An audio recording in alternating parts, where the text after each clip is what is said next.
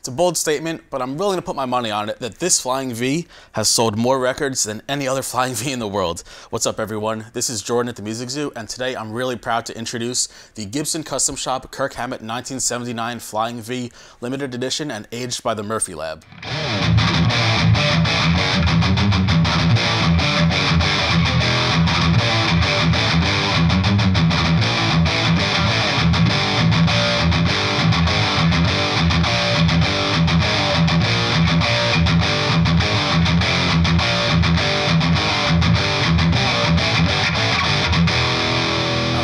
Let's talk about the history of this guitar. But first, as I'm going, I would love for you to hit that subscribe button, maybe leave a comment with your favorite Metallica memory or riff. So, the guitar. Originally, Kirk bought this guitar uh, in 1979, saved up money washing dishes, bought it for $450. It was actually a 74 or 75, so by then it was like a nice used piece that he picked up. He was still playing an Exodus, so Metallica hadn't really like popped off yet. He was probably prepping for it. Um, it was his first Gibson, which is a nice fact. It's kind of like a nice uh, full circle moment now that Gibson is recreating this guitar. It is limited to 200 pieces, aged by the Murphy Labs, um, and I think they nailed it. There's a lot of really nice small touches on this guitar that we're going to go through that make it what it is. All right, let's get into the specs and construction of the Kirk Hammett V. Uh, traditional flying V, mahogany body, set construction mahogany neck, 22 fret rosewood board. The pickups in here are pre-EMGs, so they did Gibson T-type humbuckers. I love the uncovered look, volume, volume, tone. A special touch right here is this custom replica bridge. This is a cool piece. I was talking to Tommy about this the other day, actually, and he was like, oh yeah, I recognize that bridge. A lot of players in the 70s bought these from companies like Mighty Mite. It's kind of like a heavier duty Tune-o-matic style. You can see that the saddles are huge. It's got these really heavy duty Allen keys for the uh, adjustments.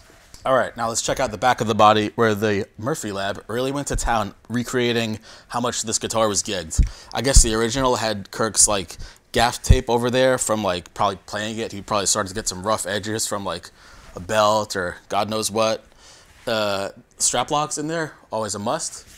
The back of the headstock has Schaller tuners on it, and I really like this touch they always do, the indentations from the original tuners.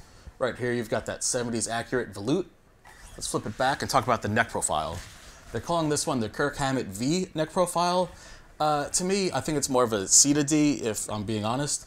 It's got a really nice, the shoulders are like brought in a bunch, but there's still a bunch of beef like on the middle of the neck. So when you're you're doing those thrash shifts and you're really digging in, it's nice and comfortable. I've been playing this all morning, and I love it.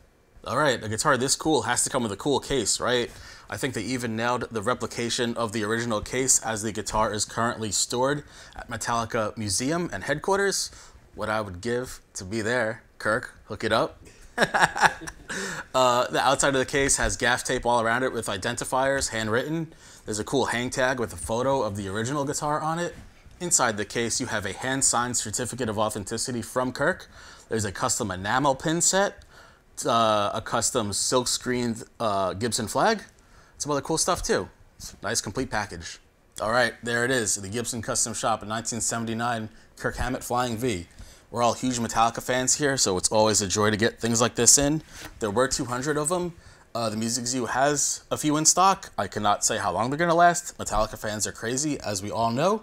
Be sure to follow us on all our social media channels at The Music Zoo, like our video, subscribe to this channel, visit us at themusiczoo.com, or just give us a call. We're here for you.